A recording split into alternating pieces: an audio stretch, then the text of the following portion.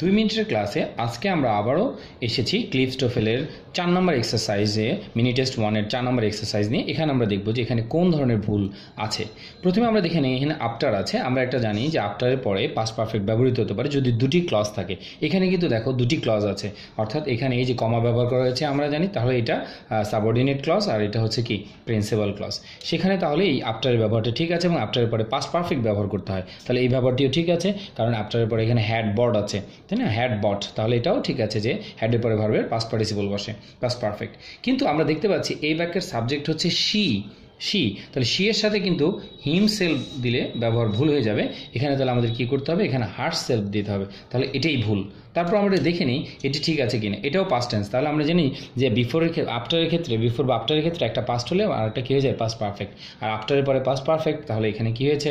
Past indefinite ব্যবহার করা হয়েছে। তাহলে এটাও কিন্তু ঠিক আছে আমাদের। তাহলে আমরা শিখে নিলাম এবং টোল্ডের ব্যবহার আরেকটা জিনিস হচ্ছে, টোল্ডের পরে সরাসরি অবজেক্ট বসে, তাহলে এটাও ঠিক আছে। যদি আমি বলতাম টোল টু হার, তাহলে কিন্তু এখানে ভুল হয়ে যেত। অথবা আমি যদি বলতাম সেইড হার, তাহলে এটা ভুলে যেত। কারণ সেইডের পরে আবার অবশ্যই টু ব্যবহার করতে হবে, কিন্তু টোল্ডের পরে টু ব্যবহার করলে আবার কী হয়ে যাবে? ভুল হয়ে যাবে। তাহলে আমরা এখানেও শিখে নিলাম যে আফটারের পরে যদি দুটি ক্লজ থাকে, তাহলে আফটারের পরের অংশটুকুই পাস্ট পারফেক্ট এবং অন্য অংশটুকুই পাস্ট ইনডিফিনিট এখানেও একই রকম। আফটারের পরে এখানে পাস পারফেক্ট ব্যবহার করা হয়েছে, তাহলে এটি ঠিক আছে, তাই না? আর বন্ধুরা, আমরা শিখে নিলাম যে সাবজেক্ট সবসময় রিফ্লেক্সিভ প্রোনাউন কাকে ফলো করবে?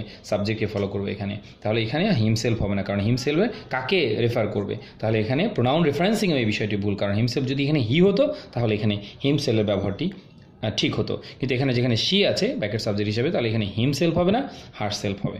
আমরা এই ইয়ে আলোচনার মাধ্যমে আমরা চার নম্বর প্রশ্নের উত্তরটা পেয়ে গেলাম, যে আসলে কোনটি অ্যান্সার হবে? সকলকে